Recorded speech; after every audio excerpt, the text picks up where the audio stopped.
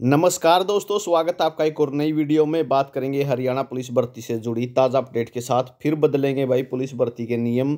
गृह मंत्री अनिल विज की आपत्तियों के बाद किए जा रहे नियमों के बदलाव के प्रस्ताव पर एडवोकेट जनरल व एलआर की मोहर लग चुकी भाई। कैबिनेट बैठक में संशोधित भर्ती नियमों को मंजूरी के बाद शुरू होगी। कांस्टेबल के छः हज़ार पदों पर भर्ती होगी और जो बीस प्रतिशत पर्सन है, वो हरियाणा जीके से आएँगे भाई।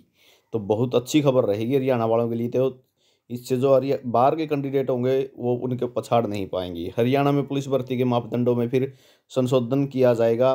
संशोधित नियमों के मुताबिक लिखित परीक्षा में बीस प्रतिशत पर्सन हरियाणा से जुड़े होंगे।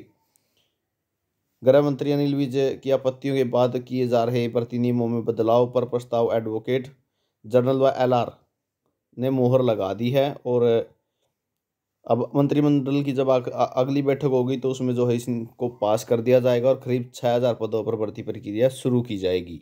पहले जो है पीएमटी होगी, दस गुना को बुलाया जाएगा, पीएमटी करवाई जाएगी, उसके बाद पीएसटी करवाई जाएगी।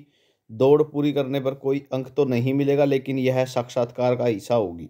लिखित परीक्षा कुल चौरानवे पॉइंट पाँच अंक की होगी, उसमें बीस प्रतिशत सवाल हरियाणा की राजनीति, इतिहास और संस्कृति सहित अन्य विषयों से संबंधित होंगे भाई।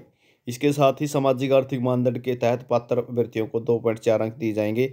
इसके बाद मेरिट बनाई जाएगी। तो ये जानकारी आपके लिए रहेगी। जो पीएमटी की प्रोसेस होगी पहले, उसके बाद पीएसटी की प्रोसेस होगी, उसके बाद एग्ज़ाम लिया जाएगा।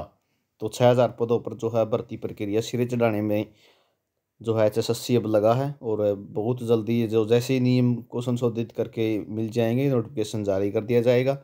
तो ये जानकारी रहेगी, जानकारी कैसी लगी, कमेंट करके ज़रूर बताना।